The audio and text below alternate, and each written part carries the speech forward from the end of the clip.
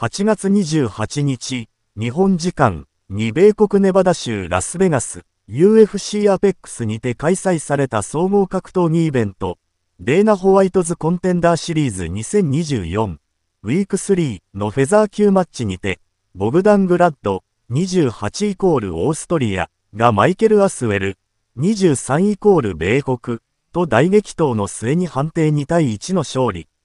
ダナ・ホワイト社長は、顔面カットで15針以上の大怪我を負いながらも戦った敗者のアスウェルにも UFC 契約を与える考えを示した。フォト、顔面流血カットで15針以上。ホワイト社長も大絶賛の激闘グラッドは本国の MMA 団体、KGFS で活躍するオーストリア強豪。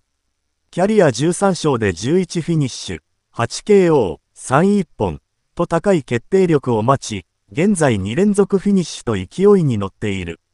対するアスウェルはフューリー FC の生え抜き選手で現フェザー級王者。キャリア10戦で昨年6月に判定負けした以外は全勝している。前戦となる今年4月の王座決定戦で秒殺 KO 勝利しフューリー FC のベルトを巻いた。UFC 契約がかかった負けられない一戦は 1R 開始すぐから様子見なしの激闘に。互いにフラフラになりながらも打撃を繰り出し、5分 3R の死闘を戦い抜いた。アスウェルの左目眉付近は 2R に受けた肘打ちを大きくカットしかなりの流血が見られた。スプリット判定の結果、ダメージで優位に立ったグラッドに軍配。試合後すぐにホワイト社長は立ち上がり拍手し、この試合を絶賛した。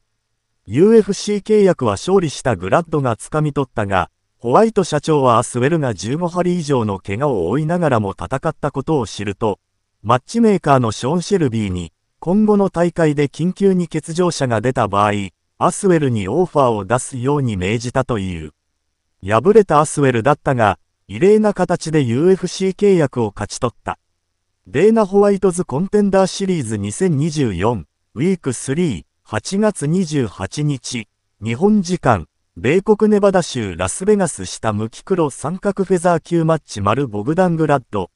オーストリア、判定2の1、30、27、29から28、29、28黒丸マイケル・アスウェル、米国。